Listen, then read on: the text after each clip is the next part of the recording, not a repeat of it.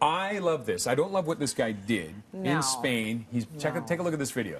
He's Mr. Cool and Mr. Funny. He's like, oh look, I'm going to get rid of my fridge by doing that, throwing it down a cliff. Raj, while someone's filming it, which Yeah. means this is all very intentional, it's Yep. done, you know, as a bit of a gag to get some people reacting. Yeah, and here's how we clear it out. And he said, oh, recycling.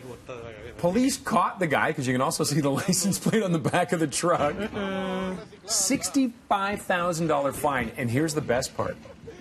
They made him go get the fridge back. Oh. Yeah, they sent him down with safety gear and oh. made him pull it back. Okay, so that was so not worth it. And this sort of begs the question why are people putting their illegal behavior on social media? I have. I don't even like putting my legal behavior on social media, let alone the illegal. I don't get it. We've seen situations. We saw Yep. in Toronto the woman that threw the chair over the uh, the Yeah. balcony. That wasn't a good look. People were people were rolling on that. We see people, um, you know, doing all sorts of different things and putting it on social media because they feel that they're going to get attention. It's notoriety, right? These They days, negative attention is as good as anything else. Well, there's always been that old sad. adage, right? There's no no such thing as bad publicity. Right. It's all publicity. It's But becoming very, very, very true now. I hope we start to see a backlash on people like this. That this guy doesn't get any kind of reward, like more business for being that I hope that not. silly. And the girl, the girl, like you know, she smiled coming out of court I for throwing a chair off. Well, she's and- made a whole career of it now, right? So this is sort of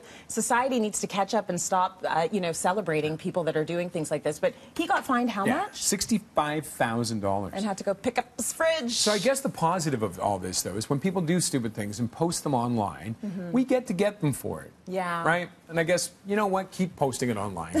it makes it easier for police and everybody else to get you. Such a bad move, man. Oh, $65,000. It's an expensive fridge. That hurts. Yep. Over to Tammy now. Hey, Tam.